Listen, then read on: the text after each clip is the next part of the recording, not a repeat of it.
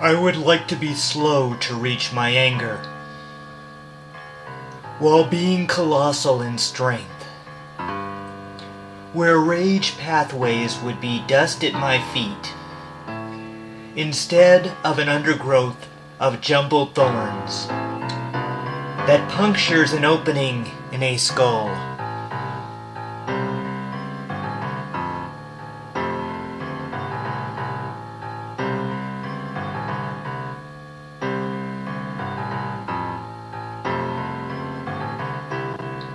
I promise to no longer humiliate by antagonism. When I could attain the beautiful heights of laughter, where the coast of my fury would burn, where compassion and tenderness rip open on my former glories of exhilaration.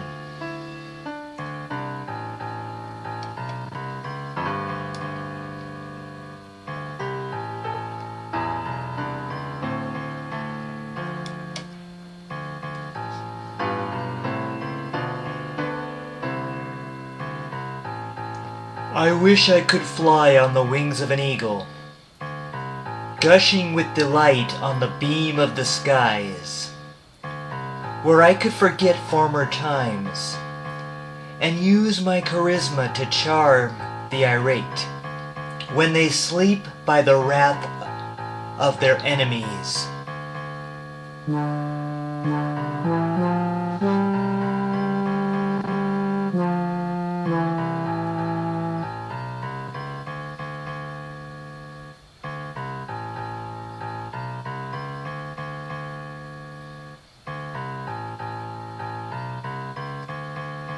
There have been those who have hounded me when I was wounded by mockery and scorn, by those who taught me to despise myself, when consumed by haters who took my voice away.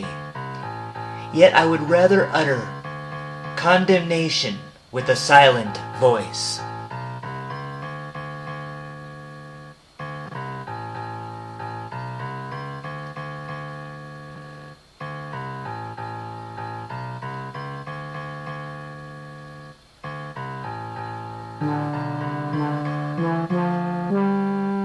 I have known nights restrained in condemning attitudes, when I felt I was going forth with my feet chained, when there was solely anger to speak withal, where the wisdom could not manifest in its fury, and its force remained like debris scattered by a tornado's fury.